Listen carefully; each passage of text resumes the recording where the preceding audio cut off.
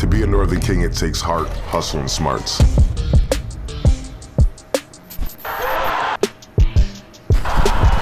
Last year we were disrespected.